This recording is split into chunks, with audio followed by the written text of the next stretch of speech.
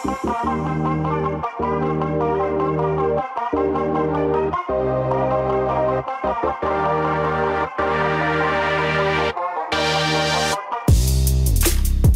and thanks for joining me. And in this video, we're going to talk about a few very important tips that you'll want to know if you're a new user to Google Classroom or if this is your first time to teach with Google Classroom online. Now, if you're in your Google Classroom account, go ahead and open up one of your classes. And the first thing we're going to talk about that you'll need to know is the settings icon. If you go to the top right and click on the gear, you'll notice that you can access your class details that you entered whenever you set up your class originally. But if you scroll down to the general section, one of the things here is stream.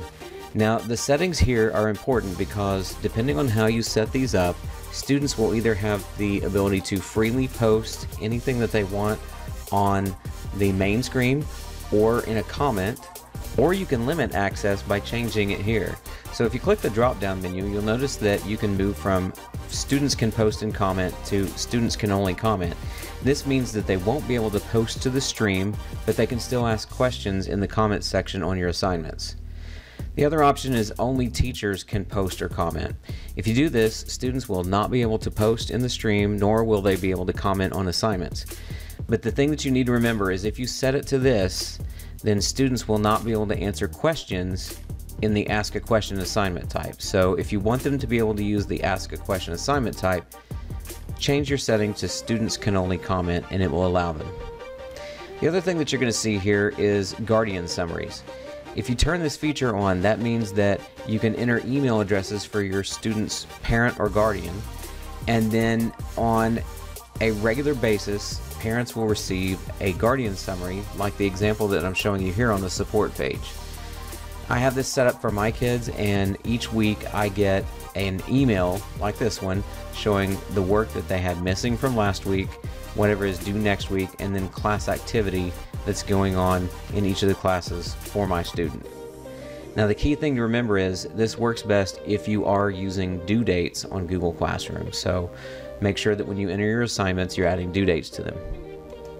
The other feature I want to show you is something that's changed recently in classwork. When you go to the classwork tab, you'll notice at the top that the create button looks the same. And so if you're familiar with Google Classroom already, that much is still the same. But if you click it and click on assignment, you're going to notice that some of the setup has changed and it's actually changed for the better.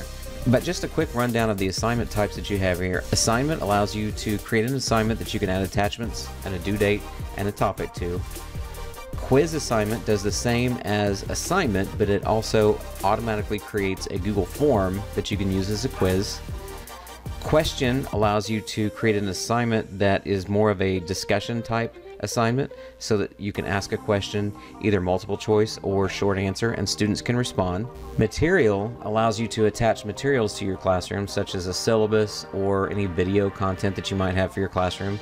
And then reuse post allows you to do exactly that. Take a post that you've used previously and copy it or duplicate it and use it again. This works best if you're duplicating assignments from another section or another class that you're teaching. Finally, down at the bottom you have topic, and it's best if you're entering assignments that you add a topic to them so that students can filter your stream and keep their classwork from one unit or one chapter or one week to the next straight. So let's go ahead and click Create Assignment. And you'll notice that the interface has changed a little bit, so you'll need to enter a title for your assignment. And then you can add some instructions, but this is optional, you don't actually have to. So here I've added an instruction for the week saying that we're going to take a look at cell biology, and there's going to be an introductory video, and then they have a collaborative doc that they can complete uh, when they finish the video.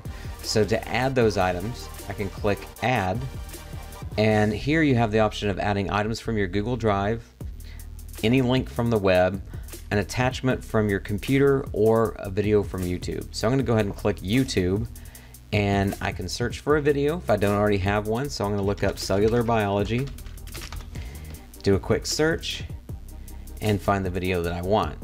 And so let's say for instance this is the video that I want, parts of a cell, and I'll click add.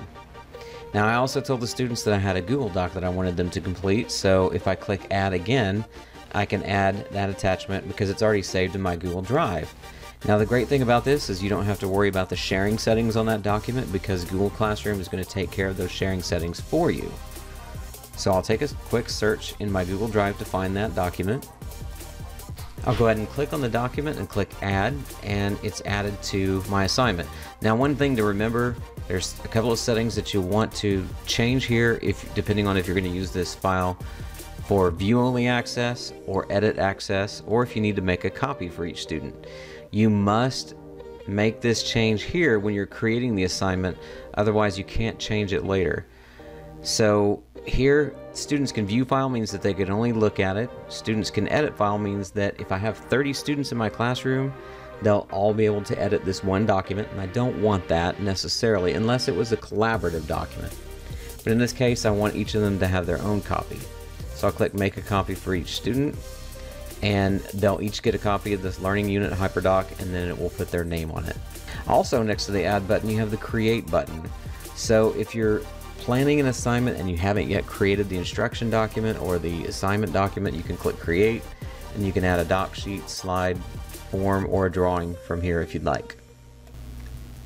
On the right hand side, you have options to add this assignment to other classes if you'd like. Likewise, in addition to adding this to multiple classes, you can choose on the All Students drop-down menu to either assign it to all students or if you need to differentiate learning for each of your students, you can uncheck all students and then you can check only those that will receive this version of this assignment. On the points menu, when you click the drop down, you have the choice of making this an ungraded assignment or you can change the point value just by entering any number that you'd like. Below that, on due date, if you set a due date, remember parent and guardian summaries will include information about assignments that are overdue or coming due. And then on topic, like I said earlier, it's very important that you use topics because it helps students to streamline the Google Stream in Classroom so that they can filter down to just what's going on for one unit or one week that you're covering in class. So when you create a topic, you have free reign to call it anything that you'd like. You can call it Unit 1, or you can call it uh, Week 1, or if you want to, you could just call it week of March 30th. Then finally, you have the option of adding a rubric to an assignment. So if you want students to know ahead of time how they'll be scored and what criterion that you're going to use, you can click on add rubric and you can either create one from scratch or if you've created one previously, you can reuse a rubric. If you want to learn more about this option, use the link that's shown at the screen at the bottom and then you can also import rubrics from Sheets. You also have the option of checking originality reports. Originality reports allow you to compare student work to other works on the web to ensure that students aren't plagiarizing.